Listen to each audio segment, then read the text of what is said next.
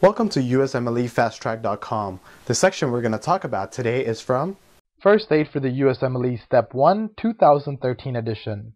Page 259. Heart murmurs. Name all the systolic heart murmurs. Systolic heart murmurs include mitral or tricuspid regurgitation, aortic stenosis, ventricular septal defect, and mitral valve prolapse. Describe the sound of mitral or tricuspid regurgitation. Mitral or tricuspid regurgitation is a holosystolic, high-pitched blowing murmur. Describe the area where mitral regurgitation can be heard the best. Mitral regurgitation is loudest at the apex and it radiates towards the axilla. What are the maneuvers that can increase the intensity of mitral regurgitation? Mitral regurgitation is enhanced by maneuvers that increase the TPR, such as squatting or hand grip, as well as conditions that increase the left atrium return, such as an expiration. What are some of the conditions that can lead to mitral regurgitation?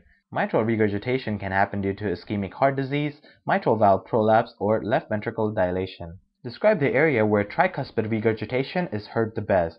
Tricuspid regurgitation is loudest at the tricuspid area and it radiates towards the right sternal border. What maneuvers enhances the sounds caused by tricuspid regurgitation?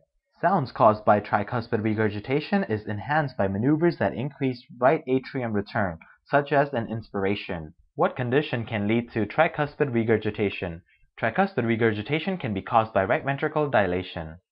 What are some of the conditions that can cause mitral regurgitation or tricuspid regurgitation? Rheumatic fever and infective endocarditis can cause either mitral regurgitation or tricuspid regurgitation. Define holosystolic. Hollow systolic means something that lasts the entire systole. So basically, holosystolic murmur is a murmur that you could hear during the entire systole. For more information on this topic, click on the link in the description section below. For a full USMLE Step 1 review, be sure to check us out at usmlefasttrack.com where we help you review the entire first aid for the USMLE Step 1 with high quality videos and hundreds of detailed pictures for a better understanding of the material. So to learn from the best USMLE review book, be sure to check us out at usmlefasttrack.com.